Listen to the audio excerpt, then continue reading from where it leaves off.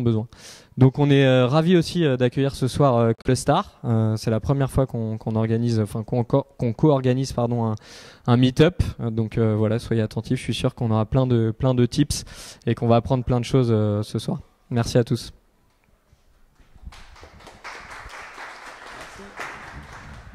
Bonjour, euh, bah merci à Comet déjà de nous accueillir. Euh, donc je suis Nicolas Cholet, je suis un des euh, fondateurs de, de Clustar.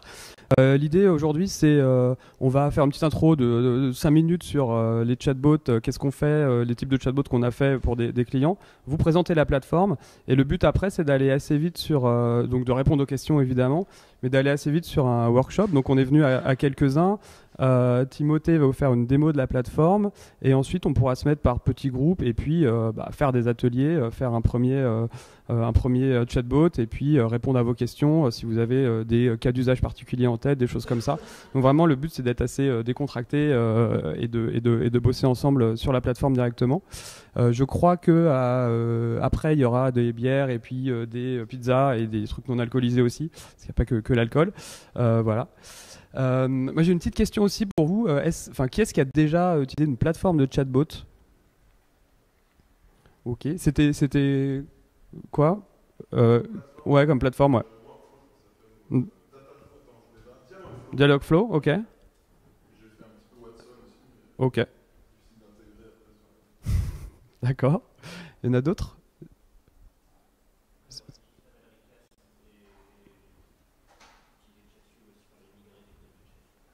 Ok, d'accord. Et les autres personnes euh, n'ont utilisé de, de, plateforme. Ok, bah écoutez, ça va être euh, une, euh, une, première pour vous. Les autres qui ont déjà utilisé les plateformes, vous reconnaîtrez quand même pas mal de choses, parce qu'il y a tout un univers commun, enfin on va voir ça, notamment dans la partie traitement du langage naturel qui est assez proche entre les différentes plateformes pour vous présenter Clustar euh, rapidement, Clustar, on est une boîte, on est à Paris et à Lille, on est une trentaine de personnes. On a deux activités en fait. On a une activité de conseil qui est notre activité euh, historique, qui s'appelle Clustar SO et Data, et donc on fait bah, du search. On optimise des moteurs de recherche internes et on fait du référencement naturel. Et euh, on a, en faisant ça, en fait, on a commencé à développer des algos de traitement du langage pour analyser ce que cherchaient les gens dans les moteurs de recherche, comment ils cherchaient, qu'est-ce qu'ils faisaient, qu'est-ce qui marchait, qu'est-ce qui marchait pas. et cette techno, on l'a utilisée pour développer euh, notre propre outil qui est euh, une plateforme de chatbot. Pourquoi? Parce que les chatbots, pour nous, c'est l'extension du search. C'est-à-dire c'est le search de, demain, c'est quelque chose de plus conversationnel, où les gens ils expriment leurs questions de manière euh, un peu plus subtile et, complexe. et c'est surtout le cas pour tout ce qui est support client, en fait, où les gens ils viennent poser une question, en fait. Ils font pas juste une recherche hyper simple. Et, les chatbots s'y prêtent, s'y prêtent très bien. donc voilà pour, pour, pour la société. Euh, nous, notre sujet principal, alors les chatbots, il y en a de, toutes sortes. Euh, vous en trouvez euh, sur Facebook qui sont plutôt à titre pour faire du push, par exemple, sur 20 minutes, qui a un chatbot qui a, qui a qui a 250 000 abonnés à peu près, donc qui reçoivent tous les jours du, push. Vous avez des marques qui l'utilisent pour faire découvrir un produit, par exemple. Euh, vous avez aussi beaucoup de cas de support client. Nous, on va être surtout sur cette partie euh, support client, réponse aux, questions clients. Et en fait, l'environnement, tout ça, c'est qu'au final, ben, partout sur les sites, vous voyez, il y a des chats. Donc il y a de plus en plus de chats. Les gens, ils aiment bien ça, ça marche. Ils ont des réponses euh, rapides et souvent de bonne qualité. Et donc c'est plébiscité. Mais en face de ça, bah, les entreprises, euh, elles ont du mal à suivre parce qu'en fait, euh, se retrouvent à traiter des tas de questions hyper récurrentes, alors même que parfois la réponse, elle est déjà euh, quelque part dans leur FAQ. et donc, on arrive à un moment, un truc où ça tient plus. et nous, ce qu'on fait, c'est vraiment des chatbots d'automatisation de ça. Donc, le but, c'est répondre aux questions fréquentes, orienter le client ou l'utilisateur quand le, service client n'est pas dispo ou quand il est débordé ou quand la question est simple. Et euh, le, but, c'est que le bot fasse un maximum de choses. Quoi. Donc comprendre le problème et aider euh, l'utilisateur euh, à, résoudre. nos bots sont utilisés sur deux, parties. Essentiellement la partie avant-vente, donc c'est sur le site web pour qualifier en fait, savoir pourquoi l'utilisateur vient, soit lui booker une démo, soit l'orienter vers le bon service, soit répondre aux questions qui sont les plus, les plus fréquentes. et des bots de support, donc c'est support client et on fait beaucoup de support de d'environnement logiciel, quoi, d'environnement SaaS. Euh, donc voilà, par exemple, pour un assureur, il fournit une plateforme assez, à, 30 000 personnes qui l'utilisent pour suivre leur contrat et tout. bah, ils se posent des questions sur l'environnement, ils savent pas comment télécharger leur contrat, comment, ils se posent toujours plein de questions. Et le bot, il est là pour apporter de l'aide contextuelle. Donc, bah, c'est les, conversions des visiteurs en lead, c'est vraiment présenter l'offre, qualifier un lead, booker un rendez-vous directement dans le, dans le bot. Donc, sur un site web, hein, ça prend cette forme-là. C'est-à-dire que les bots, ils peuvent être euh, mis dans Facebook Messenger, ils peuvent être euh, accessibles via SMS, euh, ils peuvent être même dans Google Home. Notre plateforme, elle se connecte à Google Home. La plupart des gens le font dans Facebook Messenger ou alors sur le site web. donc nous, on a notre fenêtre de chat comme ça, avec un UX qui ressemble à, ce que vous avez dans Facebook Messenger, hein, avec des cartes, des boutons. on va voir ça, on va voir ça après. Euh, donc sur la partie euh, conversion des visiteurs en lead, c'est vraiment ça remplace les formulaires, ça remplace euh, pas mal de questions-réponses et le but c'est encore une fois faire en sorte que les gens ils vous laissent un maximum d'infos ou alors que vous ayez donné l'info qui va bien quoi. et puis sur la partie support client, c'est je réponds aux questions fréquentes et quand ça marche pas, soit je repasse la main à un humain, soit je crée un, un ticket ou j'envoie un email au support pour pouvoir reprendre ensuite, euh, recontacter la personne et lui apporter la réponse euh, de manière euh, asynchrone. quelques cas clients. Donc, on a fait ce matin un, petit déjeuner avec la Française des Jeux qui venait raconter son expérience, témoigner. donc, le bot, il est euh, sur la partie euh, FAQ euh, et bah voilà, il est là. Ils ont fait un petit avatar hyper sympa. ils ont fait beaucoup de travail de, design conversationnel et le bot il, répond aux questions des utilisateurs.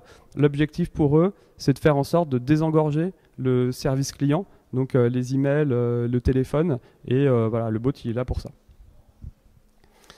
Euh, un autre exemple, c'est euh, Helloasso. C'est une startup qui, euh, qui fonctionne pas mal. Ils fournissent une plateforme à destination des associations. ça permet aux, membres des associations en fait, de, s'inscrire à des événements, de payer leurs cotisations, etc. ils ont 45 000 utilisateurs de leur plateforme.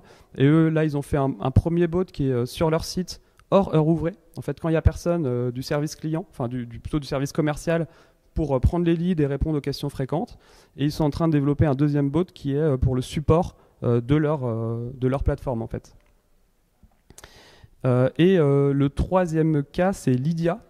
donc Lydia, vous connaissez sûrement aussi, de startup de, de paiement qui marche, qui marche bien aussi. là, ils ont utilisé notre plateforme pour faire leur support donc pour l'instant, c'est disponible sur iOS. Donc sur l'appli iOS, vous, cliquez sur besoin d'aide, on va dire quelle est votre demande. Euh, et ils utilisent notre plateforme, ils l'ont branché euh, là-dessus. Euh, ça va être sur Android d'ici quelques semaines normalement.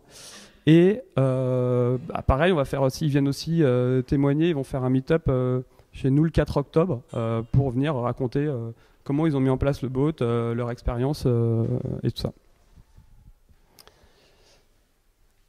Voilà, on a quelques euh, euh, quelques clients. La plupart de nos clients, comme vous voyez, c'est des entreprises qui sont quand même d'une certaine taille ou des startups pour la plupart. on a aussi un programme de partenariat avec des freelances et avec des intégrateurs. C'est-à-dire des gens qui sont chez les clients, qui sont au plus proche du, besoin euh, des clients et qui voient rentrer les projets. Et le partenariat, euh, en gros, vous avez toute une partie accompagnement où on forme à notre plateforme, euh, on aide en avant-vente.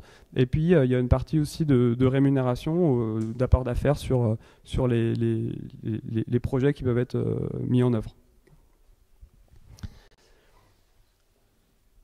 Euh, maintenant, on va assez, enfin, on va tout de suite rentrer dans le vif du sujet, qui est vous montrer la plateforme et puis euh, commencer à jouer avec. Est-ce que vous avez des questions sur la, sur cette première, euh, première partie? Non? Ok.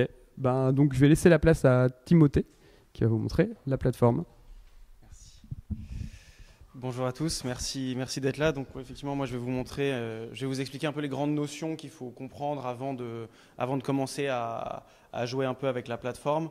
Euh, bon, faut savoir que d'habitude on, fait, beaucoup de formations pour nos clients qui sont des choses qui durent un peu plus longtemps, c'est des formations de 2-3 heures. Là, on va être très accéléré parce que l'objectif c'est de passer assez vite à la partie pratique. Donc je vais vous donner beaucoup, beaucoup d'informations sur des notions, sur la manière dont ça fonctionne. N'hésitez pas derrière, quand vous vous retrouverez face à l'outil, à reposer les questions euh, à, notre équipe qui sont là pour, euh, pour vous aider là-dessus. Donc, nous, quand on, a un, quand on crée un, bot avec un client, on a vraiment trois, trois objectifs qui sont pour nous clés. et c'est dans cet esprit-là qu'on a construit la plateforme.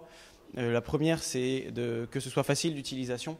Donc, typiquement, bah, vous disiez tout à l'heure que vous avez utilisé Dialogflow. Nous, on l'utilisait beaucoup avant aussi. avant justement de construire la plateforme. Et c'est en utilisant Dialogflow qu'on s'est dit que bah, pouvait faire voilà. Et donc, on est parti vraiment sur, la, sur euh, une facilité d'utilisation parce que notre réflexion était que un chatbot de support client, les personnes qui doivent le maintenir, c'est les gens du support client, c'est les gens du service client qui sont au contact avec les clients, qui sont au contact avec euh, donc, toutes les questions qui rentrent, etc. C'est eux qui voient s'il y a des nouvelles questions, est-ce qu'il faut créer des nouveaux scénarios et qui voient un peu si le bot fonctionne. L'autre chose qui est importante, c'est que euh, ça doit être facilement intégrable au SI. Donc, euh, euh, s'il y a besoin de faire une intégration dans un web service ou des bases de données sur un serveur interne, etc., il faut que la plateforme soit relativement ouverte. Donc, pour ça, on a une, on a une API ouverte qui fait que, bah, typiquement, un client comme Lydia a pu intégrer le chatbot sur son application. Donc, en fait, il vient juste taper dans, notre API ouverte et ils n'utilisent pas un no front, mais juste ils nous envoient les questions et nous on renvoie les, les réponses. Et enfin, il faut que le chatbot puisse s'améliorer. Donc, on a beaucoup d'outils là-dessus dans la plateforme, notamment un outil d'analyse des conversations qui permet de euh, regarder un peu toutes les questions que les gens ont posées et de dire voilà, ça, il faut l'ajouter à un nouveau scénario, ou peut-être là, il faut créer un nouveau scénario en rapport avec cette question, etc. Je vous montrerai ça tout, tout à l'heure. Donc, le truc important toujours dans cette idée de facilité d'utilisation, c'est qu'on a un CMS qui est en drag and drop. Quand vous allez construire le principe est que vous allez construire des stories, donc des scénarios, et sur chaque étape, en fait, vous allez décider de ce qui se passe. Donc, vous allez prendre des actions comme ça, et vous allez les amener sur cette étape en disant là, je veux qu'il y ait du texte qui soit envoyé, ensuite une carte, ensuite des boutons, etc. Donc, on a plein de plein d'actions euh, que qu'on pourra vous, vous, détailler. Et, euh, et, avec des actions un peu avancées. Donc, par exemple, d'envoyer un, email au service client qui peut reprendre des éléments de la conversation, etc. Euh, on va avoir des intégrations, euh, une intégration Zendesk qui permet de créer un ticket. On va avoir une intégration Google Custom Search qui permet de, créer un, moteur de recherche spécifique sur votre, site internet, etc. Donc vous verrez qu'il y a beaucoup d'actions à votre disponibilité dans chaque étape. Et du coup, l'objectif est que vraiment ce soit très visuel. On a essayé de créer un outil qui soit qui permette de vraiment visualiser son, chatbot. Donc les scénarios à chaque fois vont être chaque, story, vous allez pouvoir la visualiser avec des liens, parce que vous avez créé des liens entre les étapes qui dépendent soit d'un clic d'un bouton sur un bouton par exemple, ou alors d'un connecteur logique. Donc par exemple, vous allez dire j'arrive à cette étape-là, et si la réponse de l'utilisateur contient un certain mot ou match une certaine intention, etc., et bien dans ce cas-là, on passera à l'étape suivante. Ici, vous verrez dans la plateforme que vous avez une zone de test aussi, évidemment, pour tester le, le chatbot euh, en direct. Oui, bien sûr.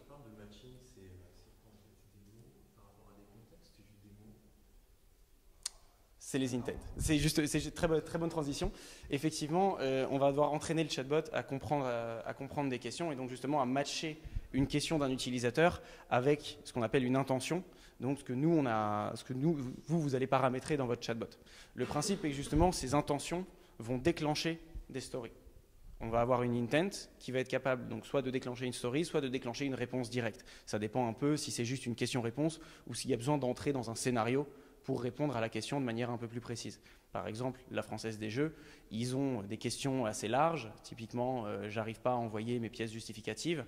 Et ensuite, ils ont besoin de poser peut-être 10 questions pour vraiment qualifier la demande de l'utilisateur et pouvoir dire OK, c'est ça qu'il faut faire. Et du coup, là, on va déclencher une story euh, un peu complexe. Il y a aussi des fois, euh, quels sont vos, quel est votre numéro, le numéro de votre service client? On répond directement juste avec une question. Le principe de l'intent, c'est que vous allez rentrer des formulations.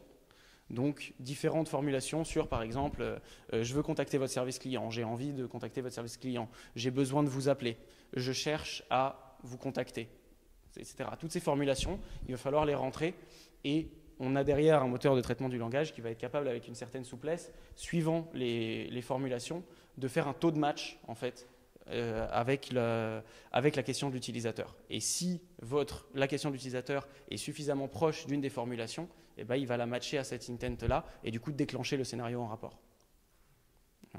Sachant que du coup dans notre, NLP, donc notre algo de traitement du langage, on va avoir tout, un, tout un système de spell check pour gérer les fautes d'orthographe, jusqu'à un certain point évidemment, mais on est plutôt content de, la manière dont il agit. Et tout, ce qui est géré, les fautes d'accord, les pluriels, etc., tout ça, c'est géré. Après, euh, vous allez voir effectivement des, mots qui sont euh, surlignés comme ça, qui vont être des entités et qui vont vous permettre de gérer tout ce qui est synonyme. Donc, euh, par exemple, on va avoir une entité service client, et donc ça peut être support, votre SAV, votre SAV, votre etc. Et tout ça, en fait, vous permet de gérer euh, plutôt que d'avoir à réécrire la formulation avec tous les synonymes, vous allez pouvoir gérer tout ça. Les entités sont un concept très très important aussi, et si vous allez un peu plus loin dans la, dans la, création, de bots sur la plateforme, il faudra, euh, il faudra sans doute une, formation un peu plus avancée parce que les entités permettent aussi de retenir des informations dans la conversation. Donc, par exemple, si on a mis une entité euh, moyen de communication, il euh, va y avoir une entité, euh, donc une valeur euh, téléphone, email, fax, si vous vivez encore dans les années 90. et la personne dit Je cherche à vous contacter via, et là elle donne une certaine valeur, donc via email. On va pouvoir retenir que c'est via email qu'elle veut nous contacter et du coup l'envoyer vers le bon scénario en, rapport. Voilà, ça c'est des choses. Sur les intents et les entités, vraiment, ce dont il faut se rappeler, c'est que vous allez créer une intent, rentrer quelques formulations de la question et cette question-là va déclencher un scénario. Sachant aussi que les intents peuvent être utilisés, comme j'ai dit tout à l'heure, dans les scénarios pour passer d'une étape à une autre. Donc par exemple, si la réponse de l'utilisateur match une intent, eh ben, on passe à l'étape suivante. Par exemple, qu'est-ce que vous voulez faire? Je veux contacter le service client. On passe à l'étape service client ou à la story service client. Des questions sur tout ça? Euh, effectivement, la, partie suivante, c'est l'intégration OSI. Donc, effectivement, s'il y en a parmi vous qui sont des développeurs euh, freelance, ça peut vous intéresser aussi, parce que vous pourrez peut-être avoir besoin d'intégrer un chatbot avec un, système d'information chez, euh, chez un client. Donc, comme, comme je le disais, on a une API ouverte. Il y a aussi la possibilité de créer des webhooks pour intégrer les données dans d'autres systèmes. Donc ça, c'est vraiment les webhooks. Je ne sais pas si tout le monde est familier avec euh, le concept de webhook. Il y a des oui ici. Bon. Donc c'est des connecteurs qui permettent d'aller vraiment chercher dans des bases de données, soit faire une action dans une base de données, par exemple rentrer une partie de la conversation dans un web service, ou alors aller chercher des données. par exemple, on avait développé un, chatbot présidentiel pour 20 minutes qui était capable d'aller chercher les résultats des élections dans les bases de données du ministère de l'Intérieur et on avait refait l'expérience pour les législatives. Et, euh, euh, et, du coup, effectivement, si vous avez euh, besoin, on a toute une documentation développeur qui est accessible en ligne. Si vous avez besoin d'un peu plus d'informations, tout ça, ce sera dans la présentation, on vous l'enverra et tous les liens sont. Vous, pourrez aller voir tout ça. Enfin, comme, le, disait Nicolas, on, a vraiment une plateforme qui permet de gérer le support client sur plusieurs canaux différents. Donc, on peut construire le chatbot pour différents canaux, sachant qu'il y a quand même une chose à laquelle il faut faire attention, c'est que euh, chaque canal a des spécificités. Donc par exemple, dans notre web chat ou dans Facebook Messenger, vous aurez des boutons et des cards que vous n'aurez pas forcément dans Intercom, mais dans Intercom, vous aurez une fonctionnalité spécifique qui permet de repasser la main à un humain, vu que c'est un logiciel de, live chat. On a des intégrations un peu approfondies avec ces choses-là. Et euh, donc effectivement, Google Assistant ou SMS euh, et toute autre interface avec nos API, comme l'a fait Lydia, justement en mettant son, bot dans, euh, dans l'application.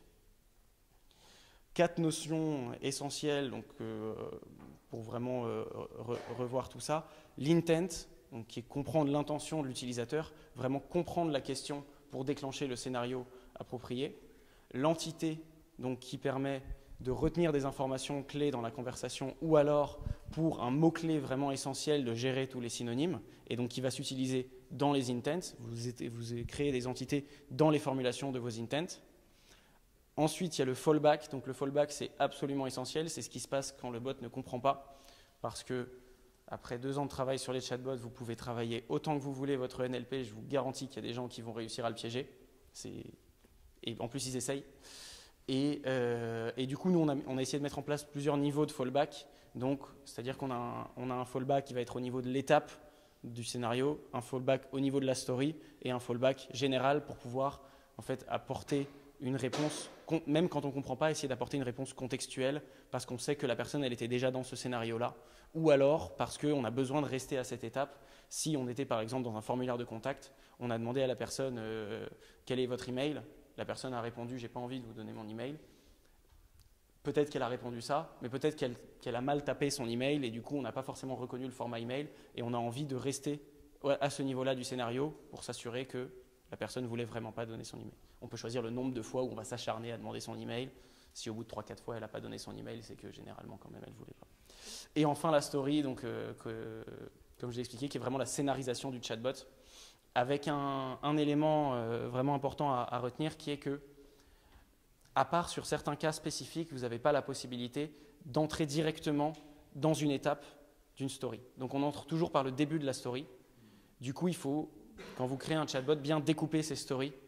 C'est-à-dire que dès que vous avez besoin, euh, vous dites là, c'est une question, ça pourrait être juste une question d'un utilisateur, il pourrait avoir vraiment besoin d'entrer directement à cet endroit-là du scénario, il faut créer une story à part. Donc il faut bien découper les stories et pas créer une très grande story.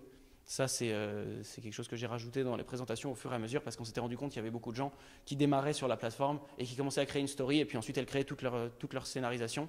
Et euh, du coup, bah, au final, elle se retrouvait à bah, là, je voudrais rentrer directement avec cette question dans cette étape. Et il y avait des difficultés. Donc, essayez vraiment de bien découper ces stories en disant à chaque fois que j'ai un scénario, que j'ai une question qui s'y rapporte, je crée une story spécifique. Je vais vous faire peut-être une petite démonstration d'un chatbot de, support. Donc c'est notre, euh, notre bot de support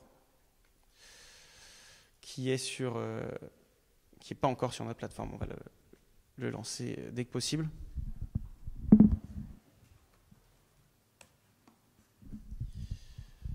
Donc le, le, principe quand on essaye de construire un chatbot, c'est qu'on a, on essaye de créer des chatbots un peu hybrides parce qu'on s'est rendu compte quand même que les boutons c'était très utile même si on, vraiment on, mise beaucoup sur la compréhension du langage, on a quand même compris que les boutons c'était utile dans les chatbots parce que ça permet de guider les utilisateurs et qu'il y a énormément de gens qui vont vraiment uniquement parler avec les boutons.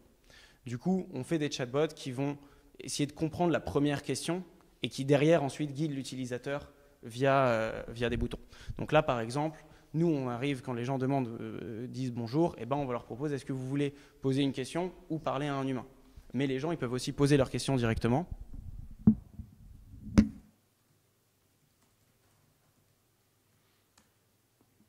C'est notre chatbot de support, du coup, c'est des questions sur notre plateforme. Au cas où vous n'auriez pas écouté avant, voici la réponse. Et ici, derrière, on peut utiliser donc des formats euh, card, un peu comme sur Messenger, pour renvoyer vers une FAQ.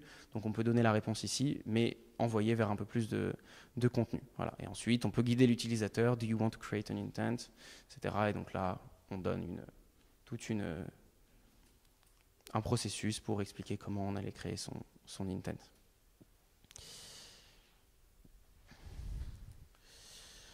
Donc, après cette, euh, donc là, je vous ai donné quand même beaucoup, beaucoup, beaucoup, beaucoup d'informations. Euh, je vous propose de passer au. Oui.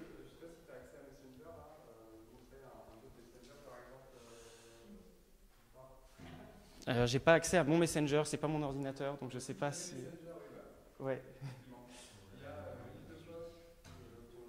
Ouais, il y a l'étudiant qui est pas mal, euh, achète, 20 minutes.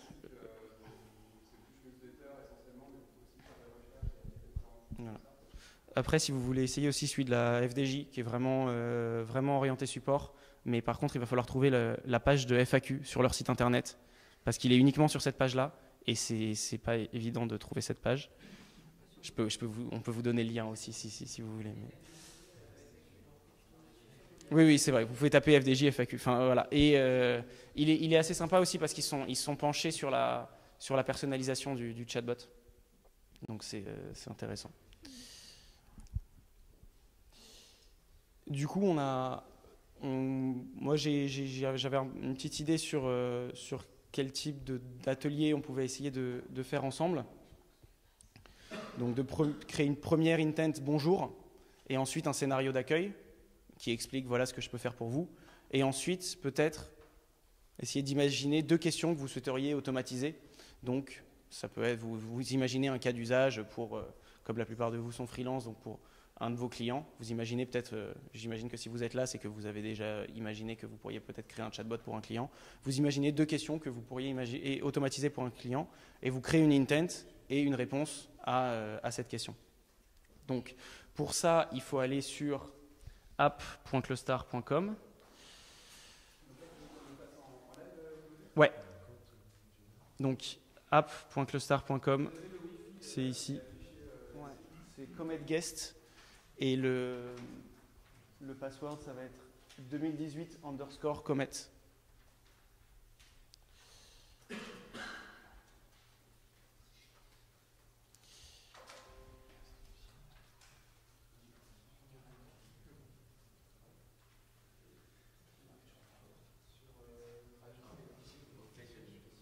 Oui, bien sûr.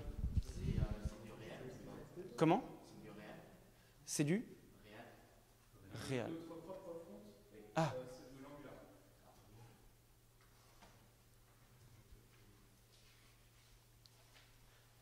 Donc pour, euh, ouais, pour faire un compte, vous allez sur euh, cluster.com et euh, vous avez un bouton en haut à droite, euh, File Script, et, euh, et ça vous amène sur un, bon, un petit formulaire, euh, vous pouvez mettre n'importe quoi, et, euh, et euh, vous pouvez créer un compte euh, comme ça.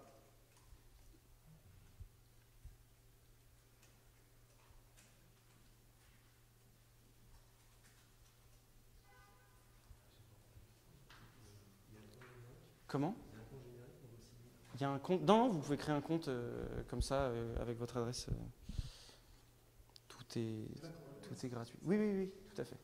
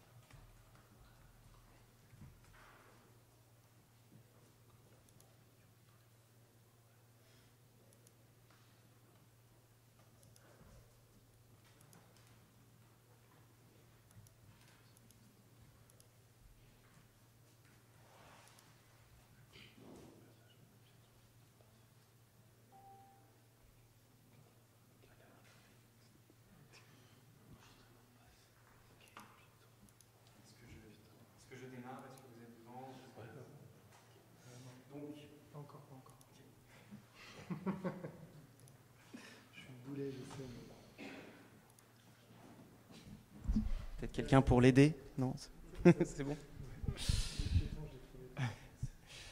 Donc, quand vous arrivez, euh, quand vous arrivez, vous allez pouvoir create, euh, create a new bot.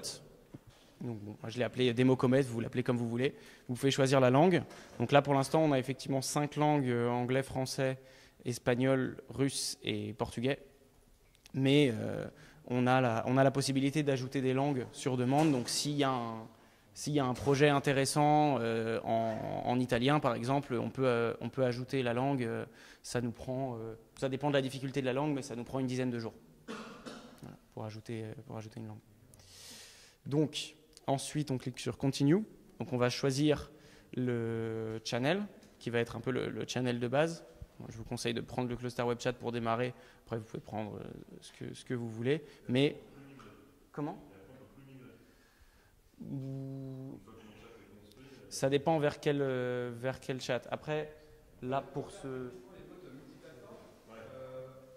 mais euh, c'est un peu plus pénible à gérer. Donc là, vraiment pour l'exemple, euh, Oui, je c'est- conseille le serveur chat euh, parce que c'est vraiment plus simple. Après, euh, de- en, en prod, on peut avoir euh, le même vote qui va être sur euh, le serveur chat et Koji, par exemple, si on veut.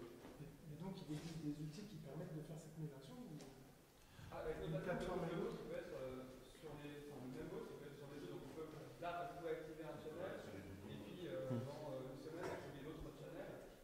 Euh, simplement, comme chaque plateforme a sa spécificité, il y en a qui acceptent des boutons, d'autres des carousels, d'autres pas. Bah, des fois, il y a des choses à, à, à adapter. Donc c'est pas toujours hyper. euh, Souvent, d'ailleurs, c'est des grosses choses à réajuster. C'est pas, c'est pas évident. Et du coup, il sera présenté sous forme de deux chatbots répliqués Ou il y aura des bugs dans le chat euh, Non, sous Messenger sous- en fait, c'est plutôt sur votre, dans votre interface de step. vous allez avoir les actions, les actions pour Messenger, pas des intents, pour le coup ça c'est commun partout, mais dans les steps, vous allez avoir des actions pour le cluster web chat, des actions pour Messenger, etc. Et ça c'est... Voilà. C'est pas que ça va planter, c'est juste que bah, il faut bien avoir pensé à créer l'action pour ce channel, créer l'action pour ce channel, etc. Donc c'est pour ça ce que disait Nicolas, c'est un peu plus pénible à, à maintenir.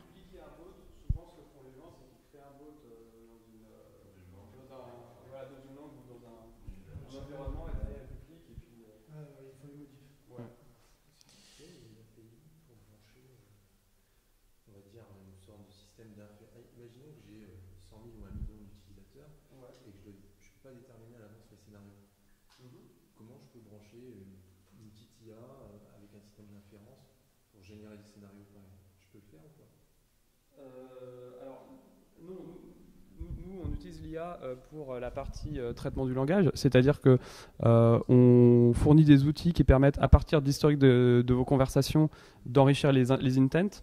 On va, rajouter, on va rajouter des outils qui permettent de suggérer carrément des intents, de dire voilà, il y a eu ces 10 questions, l'algo il trouve qu'il pense que c'est similaire, est-ce que vous voulez créer une intent Oui, non. En revanche, les réponses ou les stories, il faut les faire vous-même et voilà, il faut, les, il faut les écrire. Ça peut être euh, tapé dans un moteur de recherche, et à ce moment-là, ça peut être assez, assez simple. Hein. Vous, voulez faire une recherche sur votre site web, c'est euh, vous, drag, vous drag and dropper une action, et puis c'est fait. Mais euh, les, les, réponses, il faut les écrire vous-même. quoi.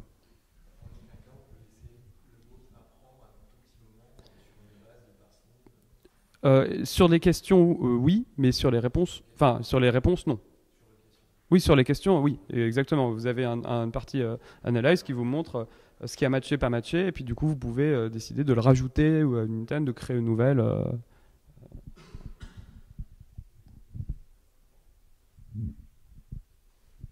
On démarre?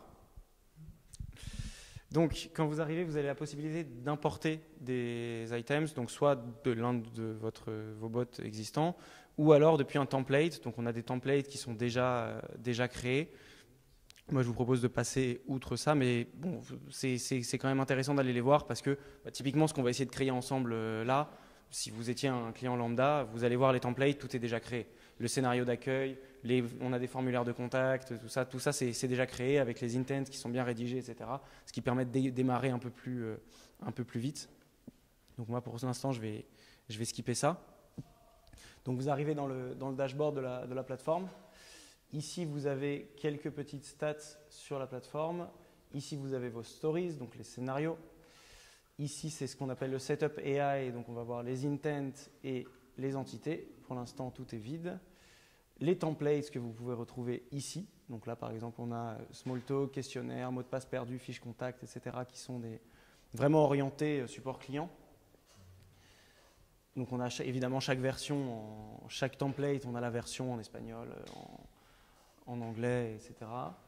Ici, vous avez la partie analyse donc, euh, dont parlait euh, Nicolas, qui vraiment euh, vous montre un peu toutes les questions qui ont été posées et à partir duquel vous pouvez améliorer votre, votre bot. Ici, les channels et ici, différents settings avec la possibilité ici d'inviter des collaborateurs ou de créer un webhook, de faire des backups évidemment. Et ici, c'est votre API token si vous voulez taper dans l'API directement. Donc, l'objectif était de créer une intent bonjour. Donc, on va dans la partie Setup AI et on crée une première intent. Donc là, vous avez soit la possibilité, et ça c'est quelque chose de très pratique qui permet d'importer une liste de questions-réponses depuis un fichier CSV. On a pas mal d'entreprises en fait qui au final ont préféré importer complètement une FAQ depuis un Excel.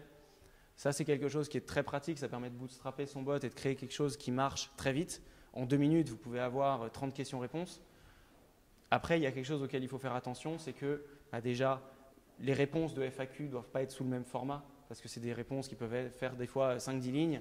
Quand vous créez un bot, c'est pour créer une expérience différente, donc il faut faire attention un peu au format de vos réponses.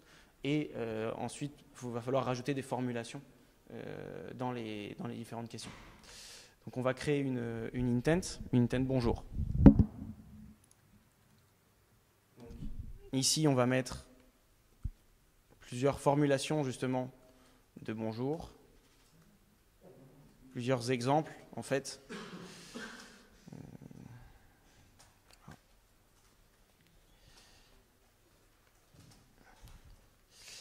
Et derrière cet intent-là, on va venir ajouter une action. Donc il faut que cet intent déclenche quelque chose. Soit une quick answer, donc ça peut être juste une réponse directement. Donc là, ça va ouvrir, comme je disais tout à l'heure, il y a vraiment la possibilité des fois de juste faire du question-réponse ou de faire déclencher vraiment un scénario complexe. Donc ici, vous allez déclencher une quick answer. D'accord, pardon. Bon, après, voilà, moi j'avais en tête effectivement créer un bonjour et peut-être un scénario d'accueil. Après, je vous, je vous laisse un peu manipuler et voilà. Pas de souci.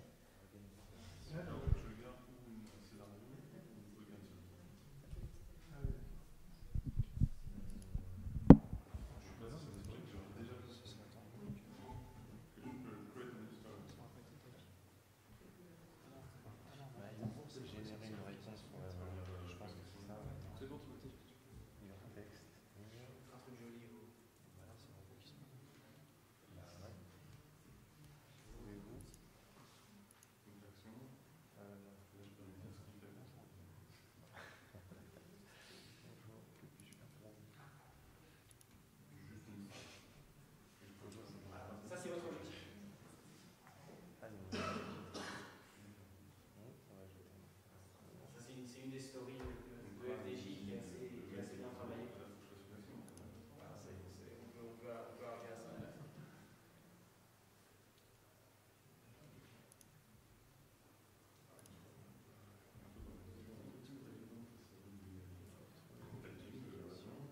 story. Là, on est dans l'écran des, des intents. Donc, on a un intent bonjour. Et puis à côté, on va dé-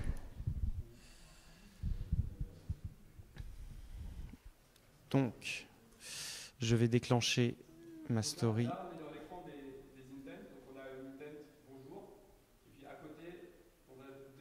quelle action elle déclenche. en fait. Voilà, on va déclencher une story bonjour. Donc on va créer une nouvelle story.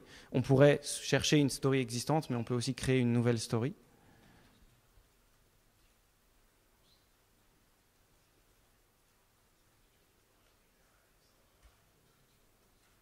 Donc là, on voit sur l'écran que l'intent bonjour, elle déclenche la story bonjour, donc qui pour l'instant est vide. Et donc là, tu vas cliquer sur la story bonjour et ça va l'ouvrir et donc on va pouvoir l'éditer et rajouter des choses. Et on ici les triggers. Donc ça peut être déclenché soit par plusieurs intents, soit par des étapes, des steps d'une autre story. Et ici, du coup, je vais configurer la première étape de la story bonjour.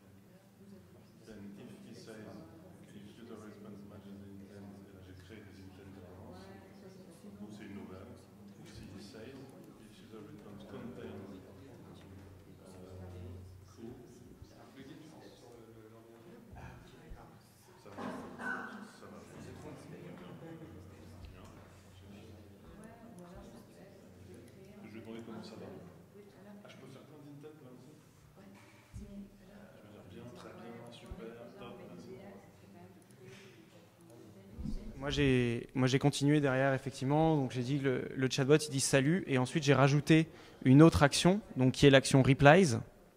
Donc, il va proposer des boutons. Donc, je lui demande comment tu. Et ici, on pourrait faire un bouton, ici, un bouton bien, qui du coup déclencherait une nouvelle étape, qui serait l'étape bien. et un bouton qui serait par exemple pas bien et qui va déclencher une étape du même nom. Voilà. Donc là, on a deux boutons qui vont chacun déclencher une, étape.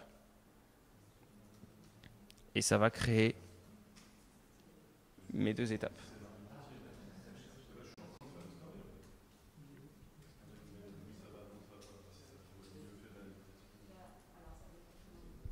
Est-ce que quelqu'un a une question spécifique sur ce qu'il est en train de faire?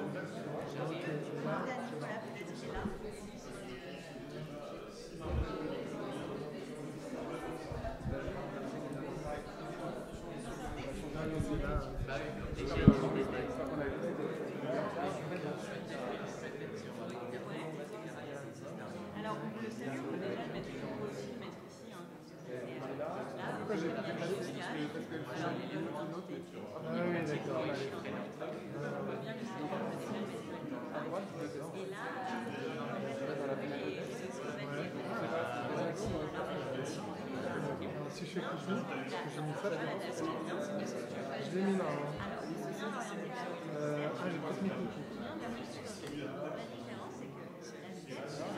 La et là, il n'y a pas d'action, donc c'est D'accord. Il a besoin de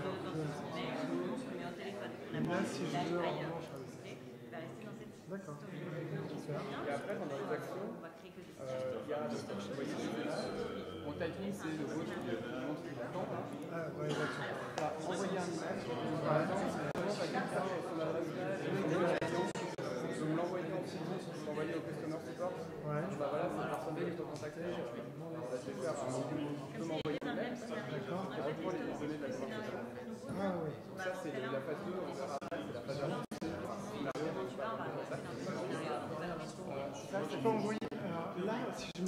oui.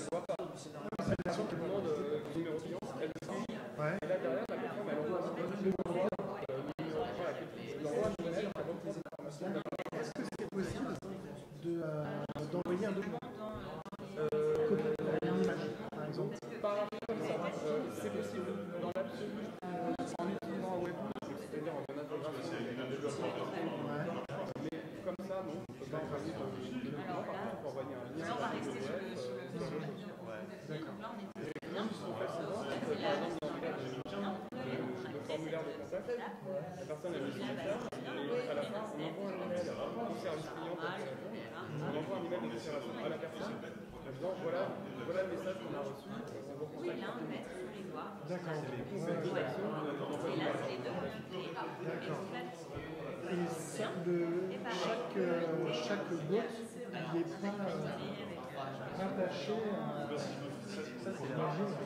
à, un client. Par exemple, si euh, moi j'ai un user de passe euh, sur web, euh, j'ai un client qui est enregistré, euh, j'aimerais que le chatbot sache que c'est le client. Alors, euh, a deux, a deux a, si par exemple, pendant cette conversation, parce que tu la d'accord, sauvegarder cette personne-là. Euh, mais par contre, pour savoir exactement à qui tu parles, euh, quelle est la donnée par exemple sur son compte en banque, tout ça, là, il faut faire une vraie intégration, comme l'a fait Léa, par exemple. Ce qui se passe, c'est bizarre que la la partie qui est vraiment des questions. Et puis on ajoute euh, un Et après, sur leur, euh, Ça on va il y a des qui font des appels sur leur, leur propre système d'info. Par exemple, tu te dis, euh, je ne vois pas mon, mon dernier virement. Tu vas me dire, euh, bah, voilà les derniers virements. Euh, Est-ce que c'est un fait là c'est vraiment personnalisé. C'est ça. Mais il y a forcément un moment où va faire technique. Ok, d'accord. Nous, D'accord, donc nous par exemple, euh, si on, on ça, on va on Nous en fait, c'est une euh, potentiellement euh, un euh, euh, on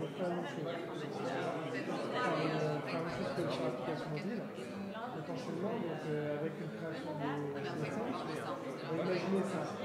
Les gens ils créent des comptes, imaginez un type de 10 ans qui crée son compte et, euh, donc euh, on aimerait euh, interagir dès qu'il se connecte, euh, le bot il il dit euh, salut salut euh, Michel. Ça c'est possible. D'accord. Voilà, ça c'est pas euh, la claque en doigt. Voilà, c'est ça, c'est Interagir avec le système. c'est. Et les développements, euh, les développements c'est-à-dire que euh, lorsque moi je vais interagir avec une base de données, euh, je développe. C'est-à-dire, est-ce que c'est euh, l'interface qui propose ça ou est-ce qu'il faut que j'aille sur le serveur ou il faut que j'installe ça sur un serveur ou une partie sur un serveur à moi? Effectivement, ici en fait, tu vas activer un Par exemple ici, si la personne elle me dit euh, bien, toi là tu veux déclencher un truc, euh, tu fais un appel sur ta base de données pour dire euh, si la personne va bien, alors on envoie météo. Toutes ces informations perso, les. Ouais, c'est comme le la réponse en fait elle fois ici dans l'interface. le a de vas-y. Quand ça t'appelle. En fait, on a, là, on a une bonne idée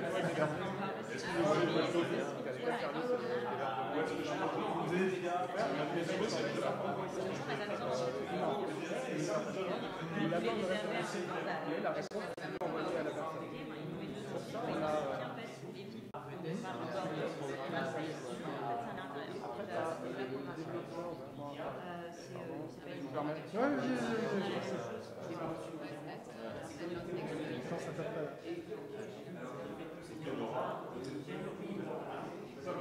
On va essayer de regarder ici,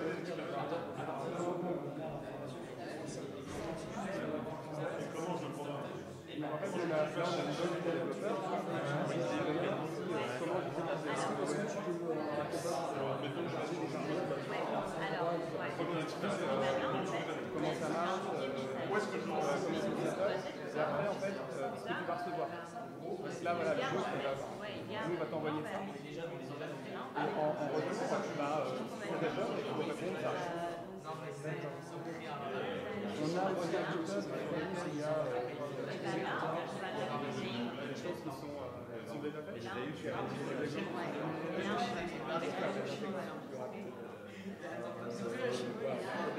Il y a de l'égalité de parfois en fait pour les c'est vraiment. fait ça peut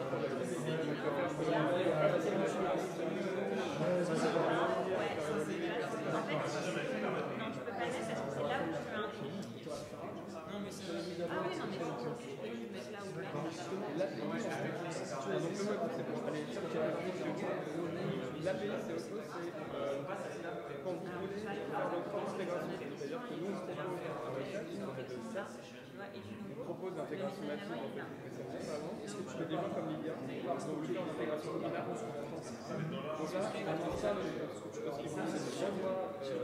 c'est la question. Et que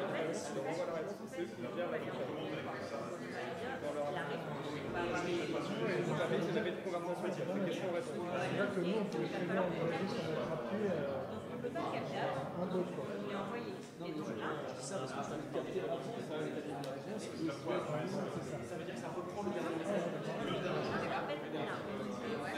Julia, maintenant, on donne un truc, ok, on doit le capter, on doit le capter au niveau de ce message-là. Mais là, et là, on Après, euh, alors, je vais trop passer en fait. Non, ça change rien. Si tu mets là, ça se met là. Ça, ça ne change rien. Mais par contre, ça va être- Donc là, en fait, j'ai, euh, ça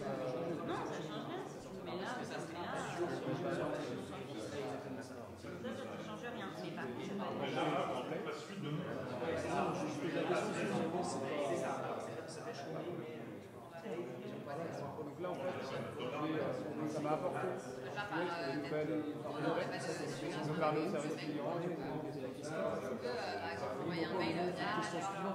un ah, Ça m'a créé ah, sur le questionnaire, je peux envoyer un mail, euh,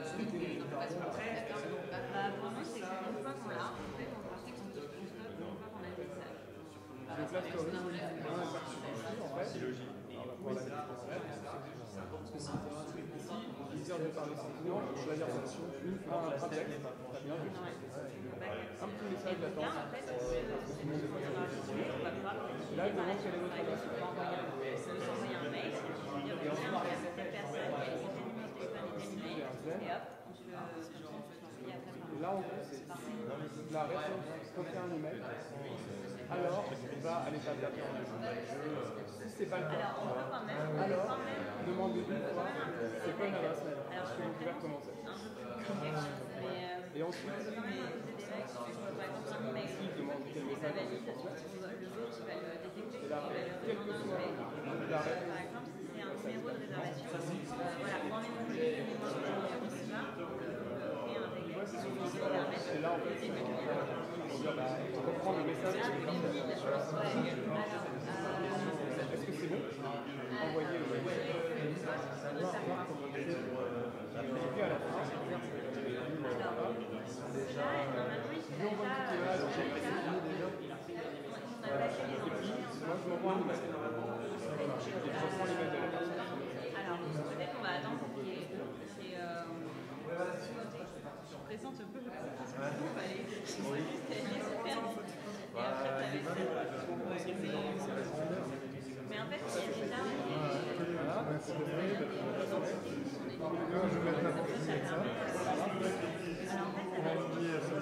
me suis pas vacciné.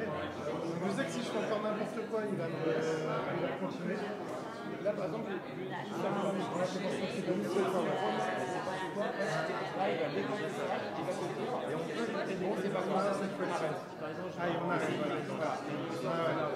je vais mettre une.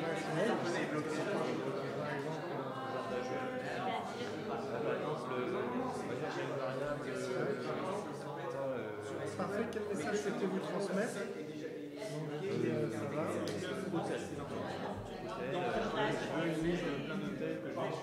Ah, envoyer ou notifier D'accord, je peux notifier euh, qui reçoit cette ligne.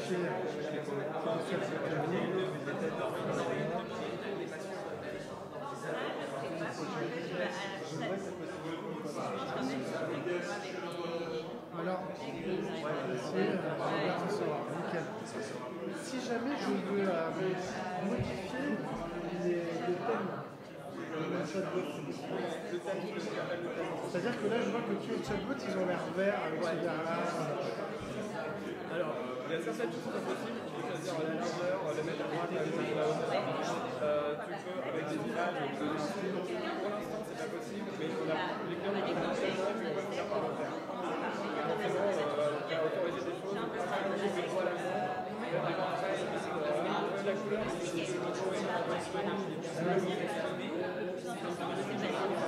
Ouais, Mais après, à la fois, euh, bon, le chat, on les mêmes choses. C'est euh, c'est les messages euh, finalement comme. Euh, C'est-à-dire qu'on a euh, le client et le serveur, le. Donc c'est deux types de messages différents. On a peut-être, euh, je sais pas, au niveau des formes.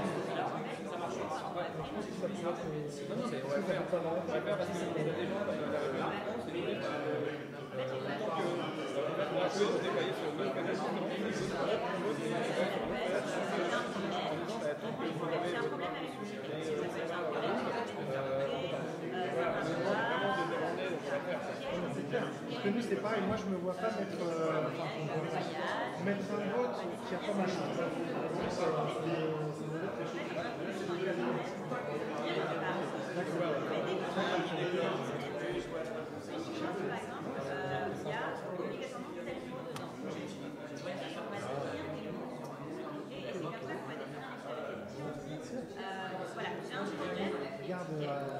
Les je vais euh, je commence à avoir quand même euh, euh, du coup j'ai voulu les mettre, tu vois. Euh, là par exemple, je suis parti sur 2019, euh, j'ai eu j'ai eu deux utilisateurs. Ça, je pense, hein. Tu vois, on va voir.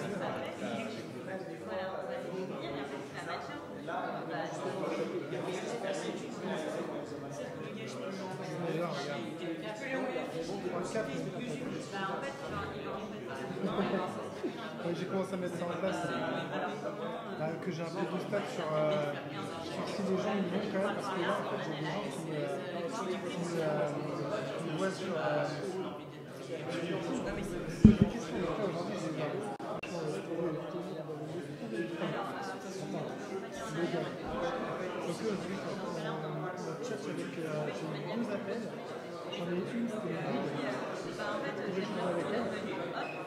Donc, euh, une euh, euh, euh, euh, amateurs. Donc, on a trop bien échangé. Du coup, euh, elle m'a envoyé une photo d'une carte professionnelle pour ma façon de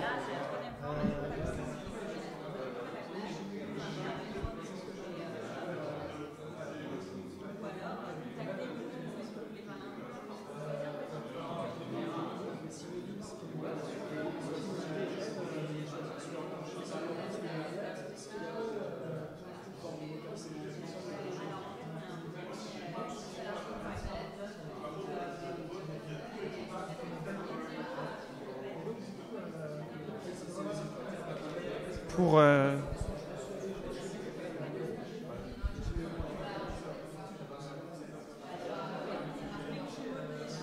pour, ceux que ça, intéresse, je vais montrer quelque chose de plus avancé.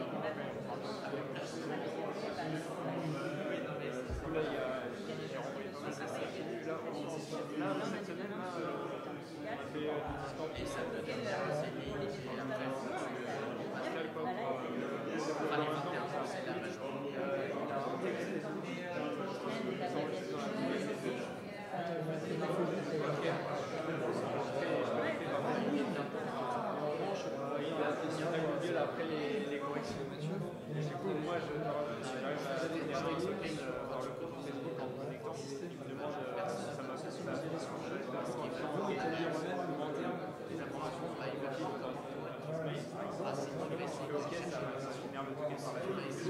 informations. Genre les et là, il faut encore que maintenant, il renvoie les et que moi, du coup, je connecte à la partie avec. Mais du coup, je pense que c'est lui, il faut qu'il fasse Google et qu'il est sur les réseaux sociaux. En fait, c'est l'exemple, ça va être si j'ai perdu mon Qui pourrait charger donc j'ai les feux et je peux valider dans le dossier. brancher les enregistrer les cartes bleues chez Stripe, recevoir les tokens chez nous pour envoyer, ça c'est bon. Je peux marquer une visite, oui, je peux valider ma réponse, dire que leur projet qui dit si ça vient à la cible d'enregistrer, ok, je valide la réponse. Moi, il faut voir l'écran, comme ça, j'ai l'impression de valider les Voilà, après, qui merde pour l'interface au niveau de l'estimation des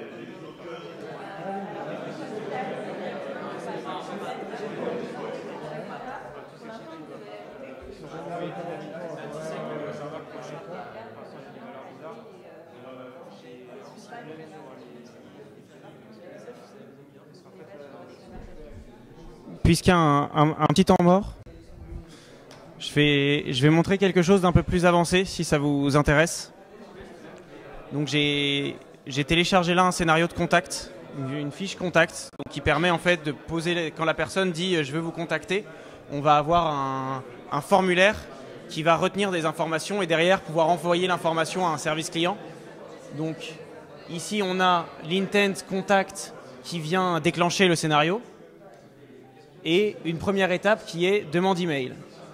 Donc on demande euh, OK, je vais je vais contacter le service support pour vous, quelle est votre adresse email? Ici, on a le zen. Donc le zen, c'est pour passer d'une étape à l'autre si on n'a pas de bouton. Donc on va mettre en place des connecteurs logiques entre les étapes. Donc ici, on a if user response matches intent. Donc si la réponse de l'utilisateur match l'intent email, et l'intent email, c'est euh, une intent qu'on a créée dans laquelle il, qui contient l'entité email. Et du coup, pour matcher cette intent, il faut que la plateforme reconnaisse un format d'email. Et du coup, si effectivement ça passe à, euh, la, on reconnaît l'intent email, on considère que la personne a donné son email. Sinon, ici on a un fallback in all other case, et ici on dit ça ne ressemble pas à une adresse email et on peut choisir le nombre de fois où on va s'acharner, comme je disais tout à l'heure, à demander l'email de la personne. Donc, if user response matches intent email, on passe à l'étape suivante.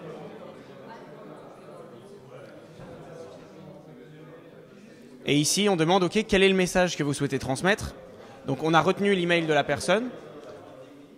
Et ensuite, on demande à la personne quel est son message. Ici, on va mettre if user response is set ça veut dire quelle que soit la réponse de l'utilisateur, il suffit qu'il y ait une réponse, on passe à l'étape suivante.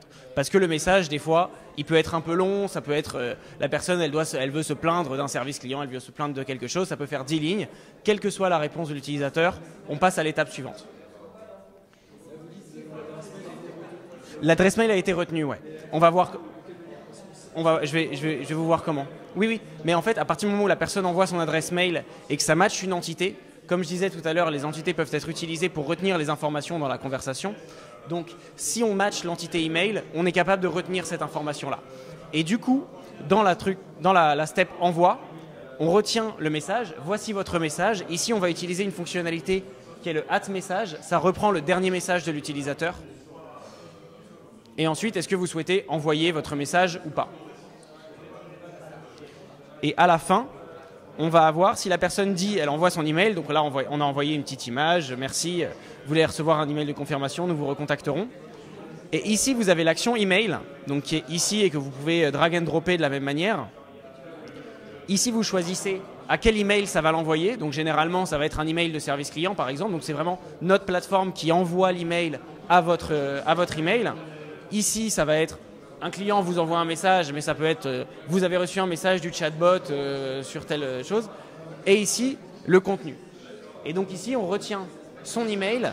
Donc ici, on prend ça, cette ce petit bout là qui est session.email. Donc c'est l'email qui a été retenu dans la session. Et ensuite, session.envoi message, c'est le message qui a été retenu dans la session. Et ça, en fait, il est retenu à l'étape d'avant avec cette étape-là. Donc cette, euh, cette action-là, on va mettre ici d'ailleurs, qui est donc un set session. Donc ça veut dire pour forcer le, le fait de retenir une information. Donc le session.email, on n'a pas besoin de le faire parce que ça a matché une entité. Donc on peut reprendre, dire session. la valeur de cette entité. Ici, on a besoin de retenir le message de l'utilisateur au-delà de l'étape suivante. Donc on dit le, le message d'envoi. Donc c'est ici en fait quand vous, faites un set session, vous allez avoir la clé, donc le paramètre que vous voulez retenir, et vous allez mettre session point la clé que vous renseignez ici, et la valeur c'est le contenu. Donc ici c'est le message de l'utilisateur, mais ça aurait pu être par exemple euh, si on fait euh, un quiz et que euh, on dit la première réponse bonne ou fausse. Voilà. Réponse 1 bonne et si c'était fausse c'est réponse 2 réponse 1 fausse. Et donc, toutes ces informations-là, on les a retenues. Et derrière, à la fin, dans le, dans le formulaire de- d'email, on prend le session.email, donc c'est vraiment l'email qui a été retenu dans cette session, et envoie message, qui est donc la session qu'on a créée avant, qui est retenue. Donc le contenu, ce sera le message de l'utilisateur. Et du coup, euh, si je mets par exemple, je vais mettre mon email pour vous. Ah bah non, je suis pas sur mon ordinateur. Bon, je, pourrais mettre mon email pour vous montrer effectivement. Ça, enverra un mail à ma boîte mail avec toute cette information là. Voilà son email et voilà le message que la personne a, envoyé. Ça c'est très utile pour du support client. Et euh, cette histoire de set session, en fait, ça peut être utile aussi si euh, donc vous avez besoin de retenir des informations et que ce soit envoyé à un web service, par exemple. Donc, euh, via un webhook, oui, c'est ça. Ici, en fait, il y a un petit. ici, si vous faites use webhook. Là, c'est euh, à cette étape-là, je veux utiliser le webhook que j'ai créé. Et là, pour le coup, le webhook, il faut le développer. Et, euh, et vous pouvez le brancher à n'importe quoi. Donc, euh, par exemple, on a un, client qui fait un formulaire et toutes les, toutes les réponses à ces questions doivent, en- doivent être envoyées dans un web service. Et donc, en fait, chaque étape du formulaire, il y a un set session qui retient la valeur de l'étape précédente, et, enfin du message précédent, et tout ça à la fin est envoyé au, au. Tout, tout ce qui est contenu dans la session est envoyé au webhook.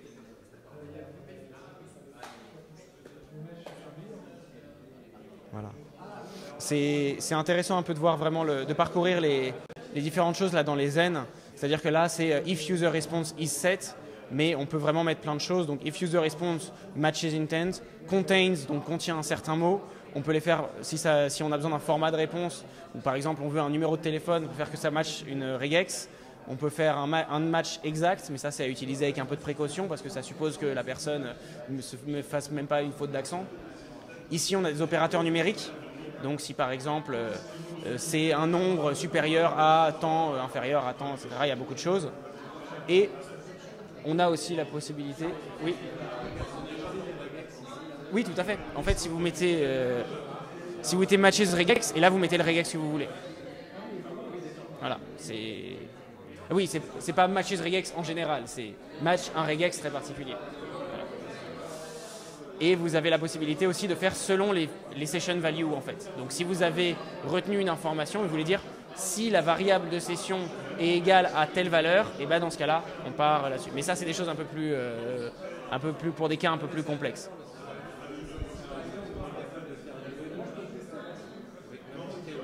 Ouais. Ouais.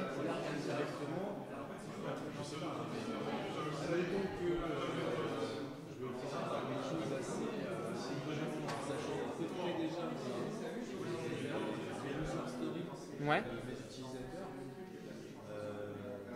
je peux entre guillemets euh, choisir des, des actions qui sont peut-être toutes les fois un peu plus complexes en supplément de web service. Oui, tout à fait. Oui, tout à fait. Ah ouais, complètement. Complètement. Oui, oui, complètement. Effectivement, de dire bah, euh, envoyer tout ça et du coup, en fait, en fait, dans la réponse. Ouais.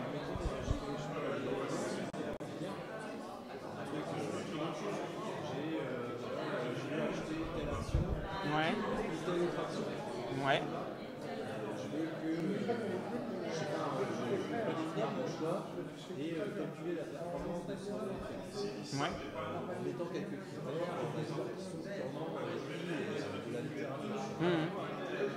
Et je peux déclencher des calculs de de votre côté. Oui, tout à fait. Ah bah oui, oui, complètement.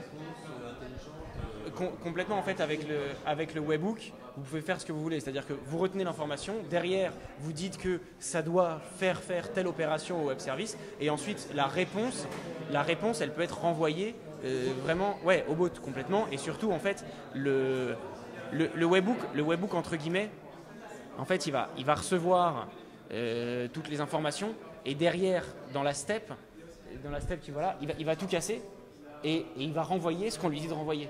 Donc ça peut être un contenu euh, très particulier. Et ben il, il- il doit générer une réponse derrière.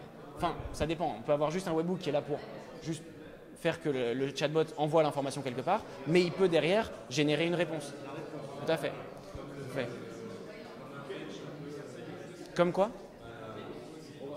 Non, pas de trop. Oui, oui, oui.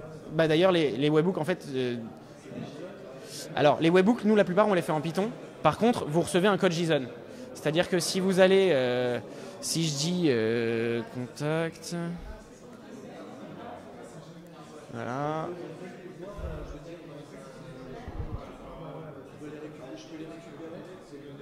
Ouais. Je, te montre. Je te montre. Là, donc par exemple, j'ai demandé, j'ai donné mon adresse mail. Et ensuite, je dis voilà. Et si je vais ici dans Analyze, tu peux voir le JSON. Et là, en fait, tu vas voir, voilà, par exemple, je vois dans la session, c'est ça, dans la session, la valeur de l'email, c'est ça. Et après, tu récupères tout le JSON euh, dont tu as besoin pour. euh, voilà. Ouais, tout à fait. Tout à fait. Et puis derrière, bah, tu le copies et tu l'envoies. euh, voilà. En fait, le, on a fait beaucoup de. Avant de, construire la plateforme, on fait beaucoup de bots à, à. Et du coup, on a vraiment intégré tout ça euh, dans la, dans la plateforme parce que, en fait, on est, on est, on est très conscient que.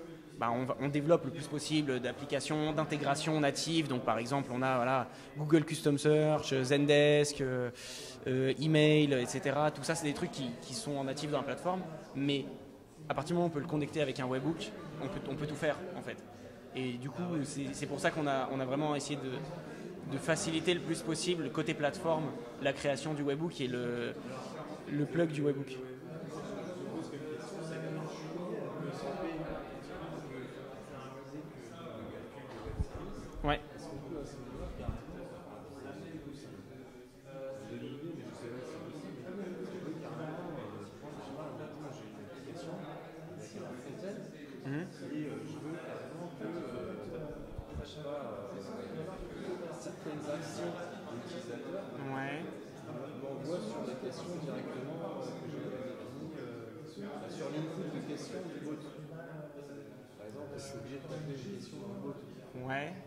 Sinon, j'ai une application qui me permet, euh. Ouais. Oui. Est-ce que je peux dire que la soumission de, de ce formulaire va directement être euh, poussée vers l'input des, des questions du bot Qu'est-ce que tu entends par l'input de questions du bot. Ah Que ce soit quelque chose de pré-rempli que l'utilisateur a juste à envoyer? Ah, ça je sais pas. Ouais. Peut être géré par le. Ça je sais pas. Ça faudrait que je pose la question. C'est. Euh, là, non. peut-être Nico peut euh, répondre après. Alors, euh, je pense que le plus simple. T'as une carte ou quelque chose Euh, je sais pas sur moi, mais. euh, Ah, tu les deux cartes. Si j'ai une visite de deux,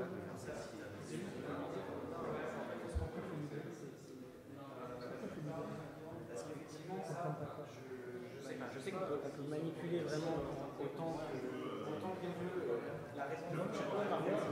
Après la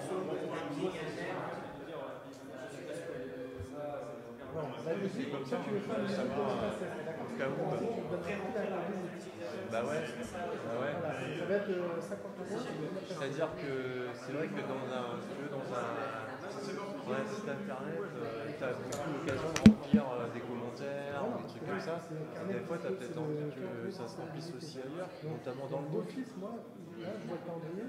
Tu vois, par exemple, par exemple, j'ai un article, je poste un article sur un, je sais pas, j'ai euh, un truc de Twitter intégré ou un truc de Facebook intégré, je mets un post, une question.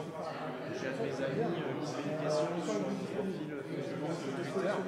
J'ai peut-être envie d'avoir un bot qui enregistre cette question et qui la génère directement dans, dans ce qui est écrit dans le bot, tu vois.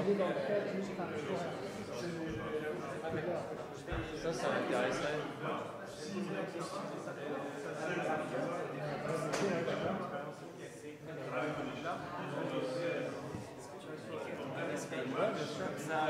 Je vous envoie un mail avec cette question-là, comme ça je me rappelle de la poser demain à mon CTO et, euh, et je pourrais travailler.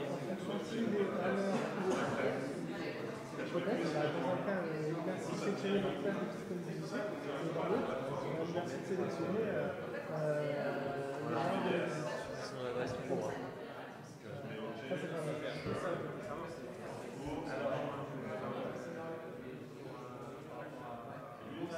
que tu peux en fait récupérer la question? Par exemple, j'ai un blog, truc de base, j'ai un blog, là qui me pose des questions. Ouais, c'est ça, ouais,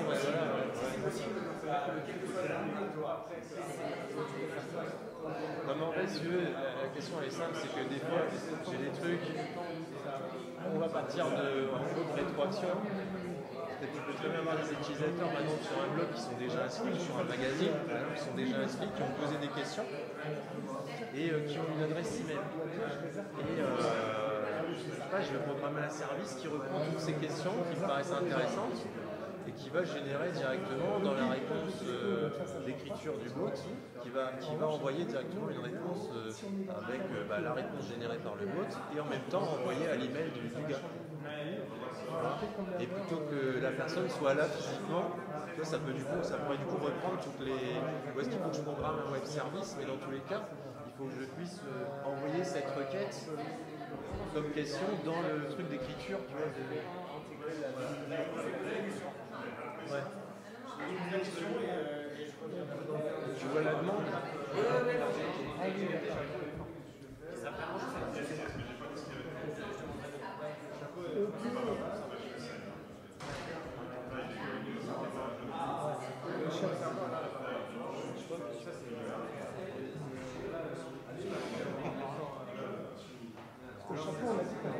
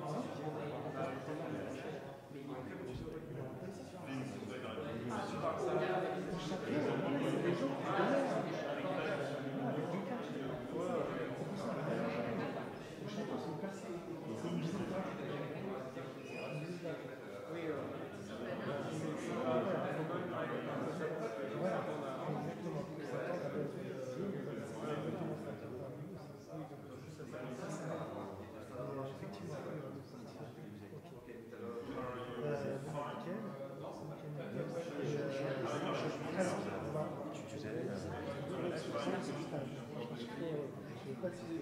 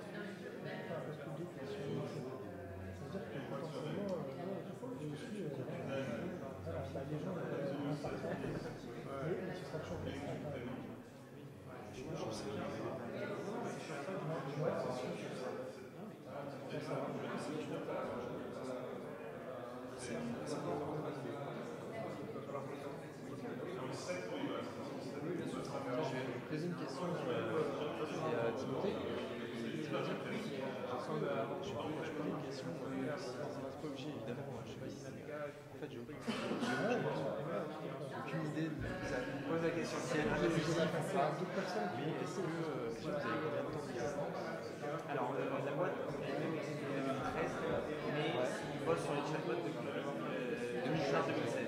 Déjà 5 ans. Oui, mais en fait, comme tout à l'heure, on faisait du SEO. La- l'agence SEO et c'est toi qui étais Search Engine Optimization, référencement naturel. On est, une agence de conseil SEO et c'est à partir de cette activité-là qu'on a développé ça, on a développé les algos, de- les analyses de requêtes pour dire voilà, sur, en fait, sur, à nos clients, sur votre sujet, les gens qui cherchent ça, il y a toutes ces questions qui sont intéressantes et voici les manières de formuler ces questions-là. Et ma question, Il y avait moyen d'adapter ça. ma question, c'est parce que moi j'avais déjà vu le logo sur des sites français, notamment. Ouais, parce que le logo euh, se reconnaît assez vite. Et euh, je me demandais par rapport au. Je vois, il y a Messenger, il y a Intercom et tout ça. Vous placez comment Par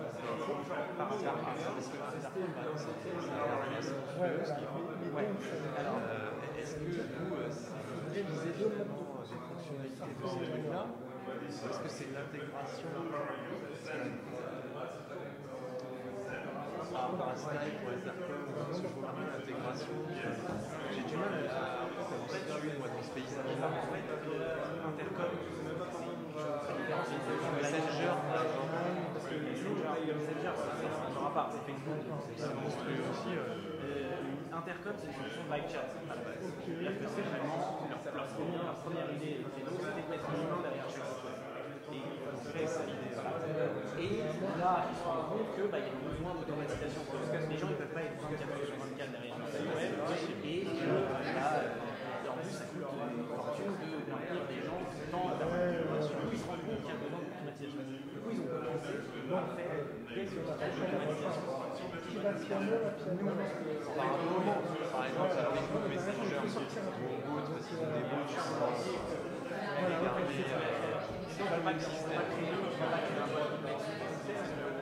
peut pas il de a. C'est la même chose, ça va réagir des ou des choses comme ça.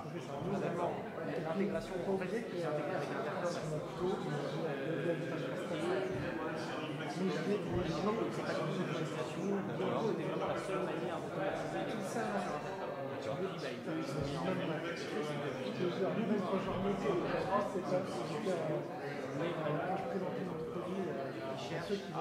à, à automatiser leur service client.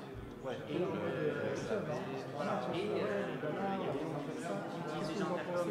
Moi, je suis toujours mais, euh, sinon, bah, ils passent par le web chat. Moi j'avais quand même une idée. Le mettent dans leur application etc. Après, nous, notre c'est d'avoir des gens qui utilisent notre plateforme et qui, utilisent la plateforme créer futur, euh, question de manière intéressée. Sur le futur, euh, prévoyez euh, Je dire, euh, j'ai d'un genre de genre Y Combinator, tout ça. Est-ce que par contre, vous prévoyez d'évoluer tout ça Alors, on a déjà là, une levée euh, en janvier, on a fait 7 millions et évidemment, il y a évidemment derrière sur une, projection. Voilà, là, euh, on commence à être. Là, et puis du coup, j'ai fait genre et j'ai dit non, bah écoutez, pourquoi pas, ouais, euh, si effectivement euh, euh, c'est vrai que nous, euh, c'est vrai pas nous, euh, la réponse de parce que euh, rien pas. Et du coup, j'ai c'est un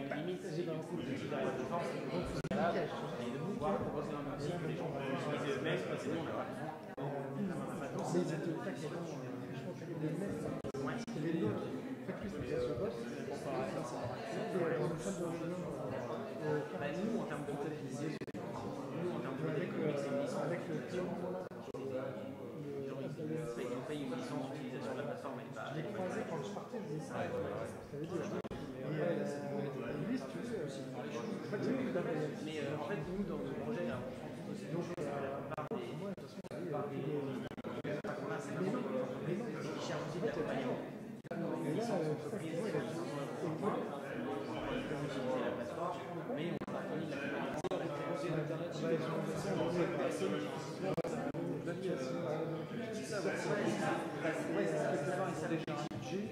c'est euh, la la fait ça, on est passé. C'est ça, c'est donc que normalement, en fait, euh, sortir par, par la porte et je ça, parce que Clément, j'ai un peu tendu la perche, sans lui dire que je voulais pas. Et en plus, perdre du temps sur des questions, sur des questions récurrentes. J'ai prochain, il avait qui de la structure, mais il n'est pas venu chercher, particulier. Donc je dis,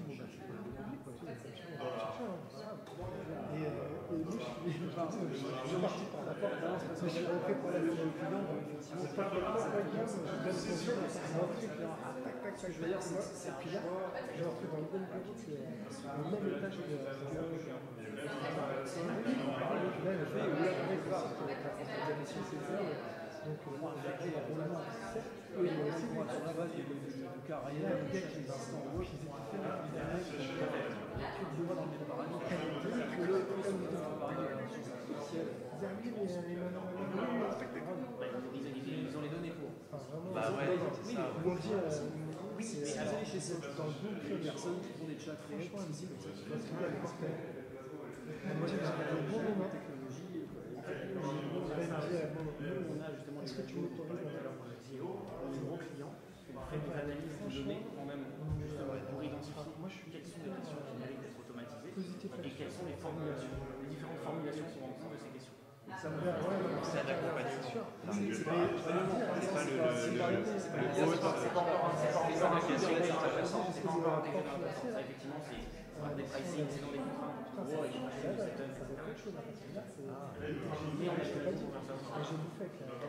Vraiment, c'est Curia, avec la déjà... Alors, avec que les chatbots intelligents, entre guillemets, je. Pour, pour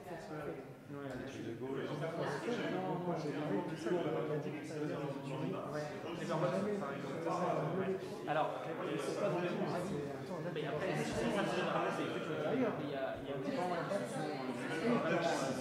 qui la première version, elle de 97. Et la version 46 test de Turing, elle, est, la version 2005. Donc si on a ça, Et en fait, elle est vachement enrichie avec le du bot. Je pas vraiment à comprendre la question,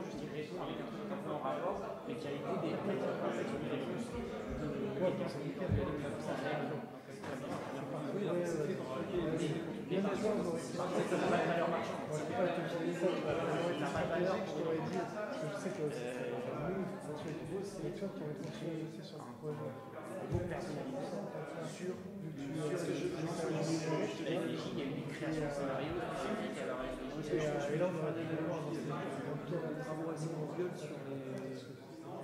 Sinon, il y a plein de c'est cool. Puis, mais t'as fait des vidéos et des Pas encore c'est pas C'est après, c'est c'est. Nous, on est du local, mais on est intégré.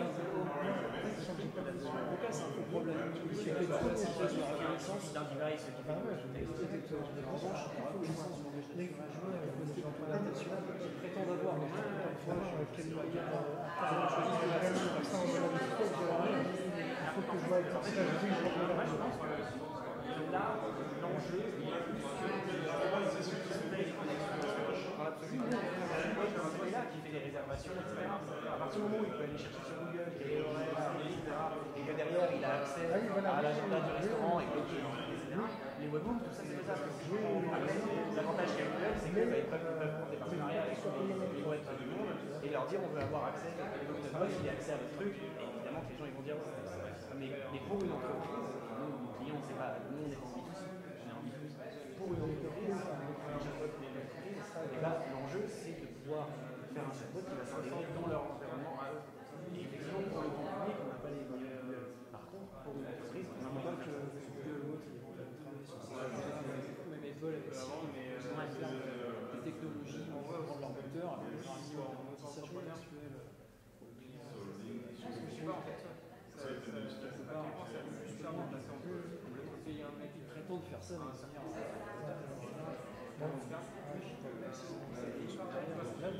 Vous êtes.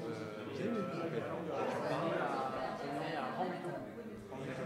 Vous avez commencé par Alors, euh, je sais qu'il y a la station. Et avant, euh, moi je suis arrivé en juin 2017, vraiment la partie chatbot. En fait, je suis toujours assez impressionné, moi, que ça me demandait comment euh, les deux, au début, euh, faire start-up pour trouver euh, on va dire, le bon investisseur qui va comprendre ce que vous faites. En fait, vous avez vous avez commencé à parler d'un En fait, non, au début, la boîte était rentable désormais parce que c'était une agence aussi. au début, mais on regarde un entier à voir sans forcément un modèle économique, mais par contre, un quel modèle économique avec des conseillers qui disaient à partir de là, on avait parce que un réseau, etc. Non, non, non, chaque Sachant que mission aussi, Euh, une boîte qui d'argent à mettre dans, la R&D. Et une fois qu'on a forcément de la R&D, si vous l'avez comme ça, la boîte, Ouais, si vous l'avez fait en interne, c'est. À partir de structures existantes, voilà. Là, ce que vous avez cherché derrière, c'est passer à l'échelle.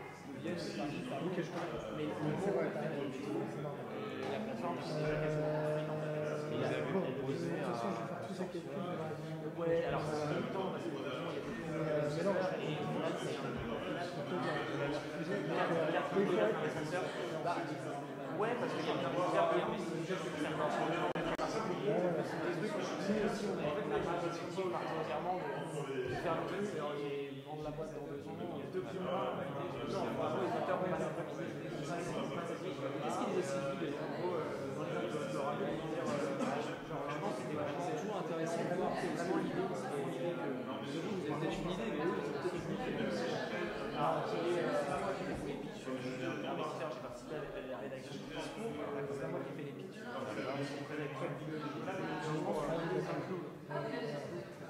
Toutes les entreprises sont face à une multitude de questions et sur tous les canaux.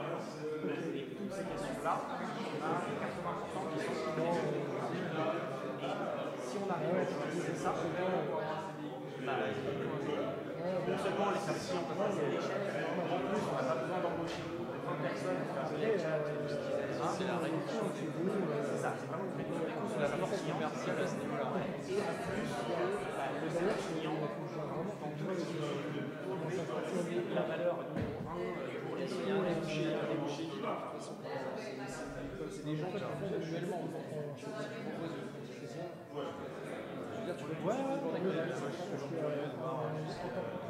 C'est pas toujours évident. euh, Parfois, il y a des investisseurs qui ne connaissent pas euh, les métiers technologiques, justement. Et donc, moi, la question elle était assez simple c'est de savoir Bon, nickel. euh, vous avez dû passer par des clubs particuliers. euh, Euh, Je sais qu'il y a. euh, C'est pour ça qu'il y a les petites c'était une démarche, on voir beaucoup, un peu sur le plan. L'investisseur qui nous a fait euh, la levée de fonds d'1,7 million. On a la force BPI, et on a La BPI on a une partie de la BPI. On a euh, un fonds d'investissement qui s'appelle Fiorpa, qui est basé à Lille, Fiorpa. Et un fonds qui s'appelle Alliance Entreprendre, qui est un investissement euh, parisien. Et Axelio, pardon. 4 4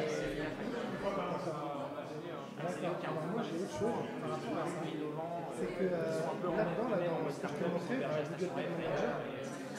en fait, moi, j'ai euh, la possibilité de. J'ai mis des. euh, euh, voilà. Je voulais mettre un Google Analytics la vidéo pour voir comment elle était. Et en fait, je pense que ça marche pas sur les vidéos, YouTube. En plus, l'avantage de la vidéo YouTube, c'est euh, YouTube il adapte les euh, les règles de qualité et il est derrière, quelque chose qu'on a fait. Donc du coup, je ça en YouTube. Donc j'ai un web YouTube. Sauf que euh, ça marche pas derrière en fait.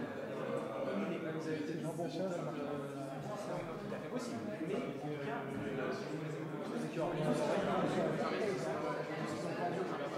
Si euh, je t'envoie le lien, la vidéo, nous on n'est pas y une de à faire. Euh, euh, la connexion Voilà, ça n'importe qui pouvait l'avoir. Mais Euh, parce que pendant 10 heures, il y a quelque chose de. Je pense que Ok. Et, euh, et le chatbot, parce que, parce que regarde, ouais, parce que le, le truc, Ouais, mais c'est clair, maintenant après, il faut qu'il faut bien l'implémenter aussi, parce que ça. Même pas Il y a des là, c'est. Nous, on avait ça. Nous, on avait ça. Après, on a vu qu'on a vu que ouais, c'est vraiment arrivé à arriver uniquement sur des idées.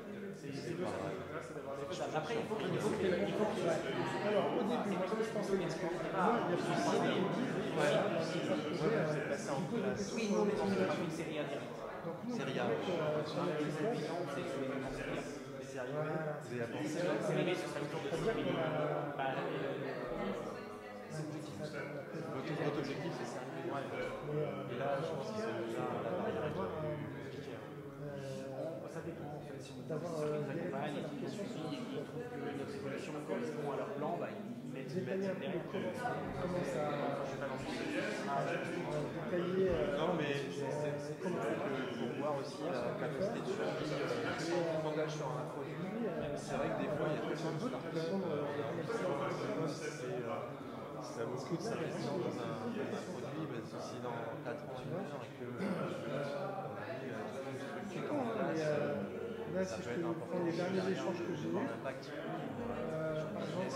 est-ce que c'était elle Là, c'est Voilà. vrai que je vois un Euh, bonjour madame, pas mal vous d'usages, êtes je pense. un de votre réseau social, je suis essentiel. Comment vous allez plus loin euh, Je suis intéressé par le projet dans le chat.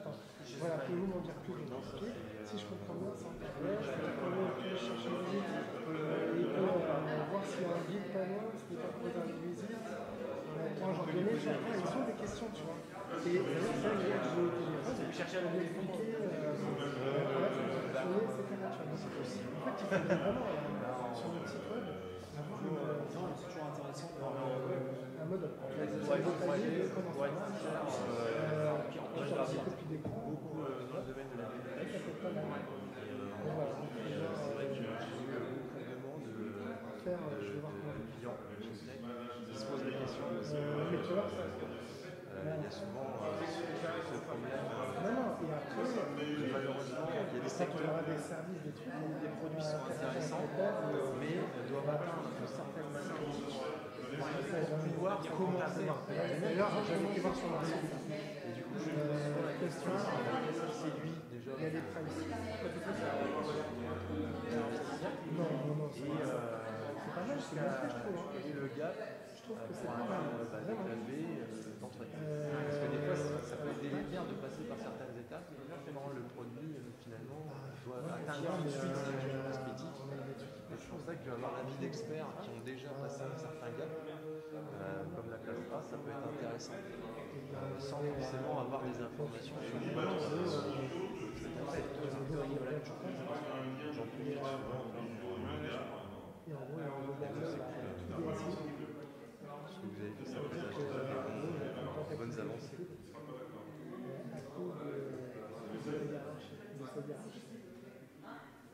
En gros, euh, pratique, les clients, finalement, leur arbitrage, ils le font.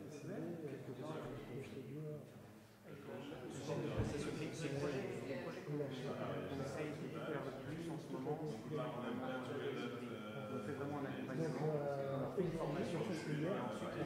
Réfléchir. Effectivement, c'est massif. Et ça, dans la plupart, ils sont pas dans que ce soit. Ouais, mais en fait, les points qui marchent, c'est ceux Je sais que reçu un et que la plateforme était sympa avec ce Et c'est c'est eux qui ont aussi euh, et puis c'est ça, mais ouais, c'est ça, parce que le chatbot, et c'est c'est la chose qui était intéressant. Une qui était intéressante et j'ai pas eu le temps de débriefer avec le avec le sujet parce qu'il est revenu et moi je partir aussi. quoi. Est-ce que vous êtes Ouais. Bah, je euh, bosse euh, principalement dans la stack. Moi, c'est vraiment euh, technologiquement, euh, ça m'intéresse sur l'accompagnement et le magasin n'était pas intéressé sur l'inférence. On a des grosses bases à gérer, sur les exploitations possibles d'un bot, mais pas juste au niveau de la la définition des scénarios, euh, dire, des, des demandes des clients, euh, et puis des réponses intelligentes. Euh, c'était c'était ce que je voulais. Emmanuel, euh, Manu, qui est en train de a écrit son message, et un truc quand même, ouais, il y avait des, des Et au questions. niveau de DataWare, ça va. Ouais, Euh, ouais, perso, mais ça ne me dérange pas. Et euh, par rapport Au à niveau euh, DataWare, il n'y a rien de un spécial. type euh, d'investisseur, euh, Ouais, ils s'en sortent. il y a des gens qui souhaiteraient par exemple passer directement euh, s'il y a des prototypes, galère, mais, euh, il y a dire des, il prototypes de Mais plateformes envisageables en finance. Et euh, ces prototypes de plateformes euh, exigent quand même des montants importants. Et euh, ça, je posais la question est-ce qu'ils connaissaient justement des, des clubs, mais qui ne se basent pas sur de fonds, euh, sur du vent. Je veux dire, des choses intéressantes. Alors, déjà, Euh, moi je me suis sais posé la question. Pour arriver directement en classe B, Parce que nous, on a un un euh, club d'entrepreneurs qui sont prêts à écouter des demandes pointues en IT. Si, euh, Et euh, moi, tu vois, vraiment tu les- si j'essaye, pas trop perdre de temps. Euh, La version réseaux investisseurs intéressants. Faut obligatoirement passer par web, les les. les combinateurs et compagnie Est-ce que tout Et est et là, c'est pas, c'est que c'est- on a des Sur les clients. levées de fonds Ouais. Alors nous, bah, je suis avec un manager entrepreneur et on a, fait un peu le parcours. euh, Ah oui, d'accord. C'était dur. D'accord, ok. Ouais, c'était dur. Ouais. Ouais, Non, en fait, t'as mis partout, tout le monde l'a fait un peu peu. Moi, ça me dérange En fait, toi, tout le monde te dit, ouais, Il y a souvent du hasard. Ah ouais, ça marche, effectivement, ouais, c'est pas le mais- tes métiers. Bon, ça, D'accord. Euh, donc, euh, Ouais. tu fais combien de MRR donc, D'accord. Alors, j'ai une question, euh, Je sais pas si ils vous appellent, comptiez la borne. ils C'est la pas, mais ça c'est nous ceux qu'on a c'est toujours. Et après, Si on fait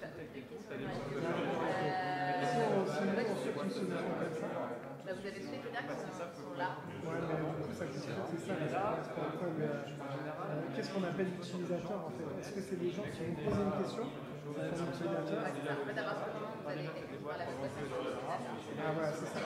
Donc du coup, ça, c'est même pas la peine d'y penser. Parce qu'il nous a déjà fait gagner deux fois. c'est Voilà, ça. D'accord. C'est Et la différence en fait avec ce truc-là, c'est que vous avez un, master qui est vous avez la différence. Ah, qui sera toujours derrière en fait. euh, Parce qu'en fait, dès que vous avez un problème, vous avez un s'il y a quelque chose que vous n'arrivez pas à faire, vous avez un problème, D'accord, vous ah. l'appelez et euh, voilà, il faut ça D'accord. D'accord, alors que là, j'ai personne derrière. Vous avez la des choses. Mais euh, Oui, on se donne pas la Mais- D'accord, mais là en tout cas, c'est sorti pour 100 utilisateurs.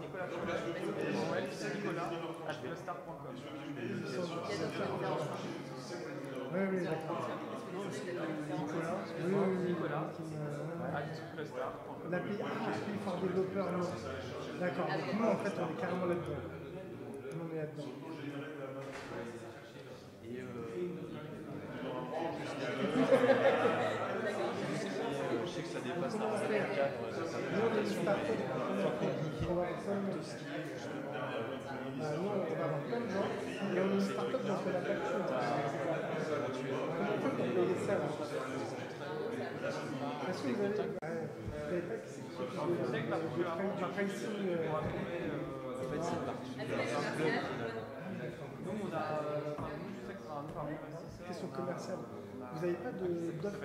pour Oui, ça, c'est c'est fini. Bah, En fait, euh, pour l'instant, on a bientôt. Mais, euh, Mais, euh, quand on va se lancer, on risque d'en avoir beaucoup. Et d'autant plus qu'on est obligé, c'est même pas limite le fait du nombre d'utilisateurs, c'est juste ça déjà. C'est ça là qui nous bloque. T'as été accompagné pour les pitchs Vous êtes des Ah bah ouais, parce que euh, nous, si on utilise les robots, C'est honnête. On on un euh, un. Euh,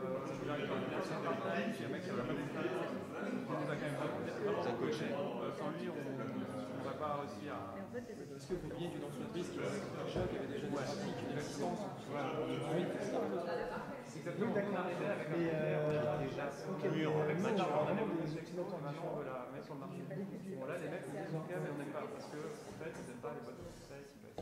Euh, Oui, parce qu'ils disent- non, non, non, même pas, c'est ouais, c'est. Ou alors, en fait, euh, là, il y a en fait, euh, les gens bien les boîtes. Pour avoir des que Parce du coup, c'est. Les gens, ils devoir poser des questions. C'est c'est En fait, c'est en peut-être que euh, euh, c'est tout à fait Ben, c'est ça, peut-être, temps à faire ça, c'est euh, les gens, bah, ils commandent déjà. euh, les gens, ils vont sur internet, Donc euh, voilà, on est d'accord, problème, mais euh, il y a plein de gens qui Donc, s'il y a, c'est Ah c'est par expérience. euh, donc, c'est pour ça qu'on par ça. Euh, Mais aujourd'hui, on n'a pas la recherche. Je t'en prie, mais déjà, je sais Et, pas si euh, c'est cool. C'est super produit. hein. Moi, je vais regarder de plus près. Et... D'ailleurs, j'avais d'autres questions. Bon, tu veux y Ok, je te poserai ces questions par mail. si tu veux. voilà, qui. Bah, en fait, je, je voulais anticiper sur cette histoire de- d'intégrer des, avec des- directement des questions. Et j'ai pas eu le temps de lui poser la question. Je lui enverrai par mail au pire. Ouais, Avec plaisir. À la rigueur, on fait un, on fait un rendez-vous. Ouais, ça marche. D'accord. Ouais, une petite bière. Ouais, ouais, non, mais c'est ouais, c'est clair. Ouais. Euh, là, je prends un numéro de téléphone. Euh, il y a- Même pas. J'ai reconnu ta photo de la mèche. Prépare, je suppose. euh, attends, C'était quoi ton dernier message sur. Ouais, bah, Lyon. C'est à Lyon. Ah, c'était la semaine dernière. C'est à Lille alors. Souvent, c'est toi qui tous les. Moi, je viendrai plus souvent possible. Là, je suis en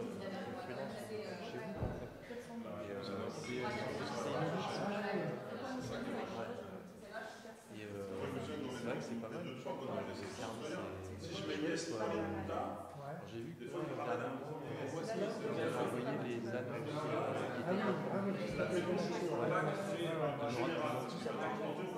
Non, moi j'en ai.